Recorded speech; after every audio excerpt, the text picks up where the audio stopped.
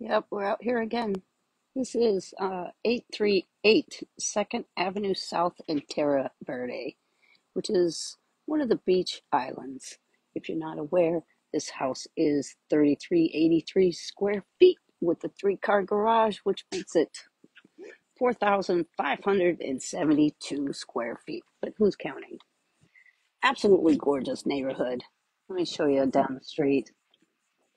Tierra Verde is pretty exclusive little neighborhood, but there are some gorgeous homes out here on this island, all the way down that way and down that way. But this one is really, really very pretty.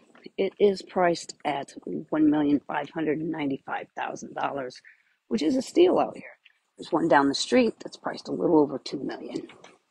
But let me show you this great big tour. What I like, there's a couple of really great features. One is you have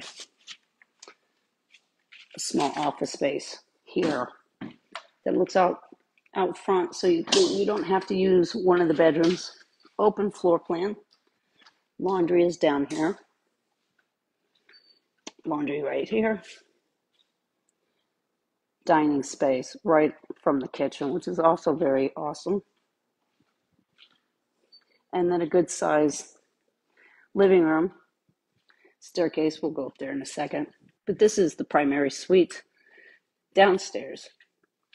Good size. There's a half pool bath right there because there is saltwater pool. Lots of light, lots of windows.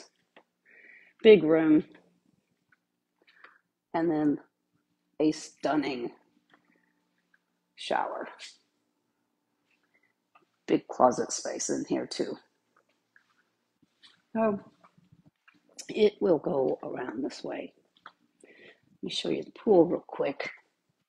It's salt water, which is low maintenance, and this house does have solar panels. They are paid for, so your electric bill is about $40 a month, which means it runs the pool and the house on the solar panels.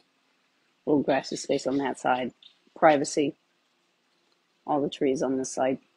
so if you have a little dog, definitely enough room for the dog. And then this open kitchen, this island is beautiful. Look at the veins in that. It is so pretty. I have to tell you guys I need a drink of water because it's like 95 degrees outside today. Is September. Let's go upstairs. What I like about the upstairs, three bedrooms upstairs. There's four bedrooms total in the house, half bath, pool bath down here, and then your primary bath. Gorgeous, gorgeous staircase. You have a landing up here. So let's say you have a couple kids, or even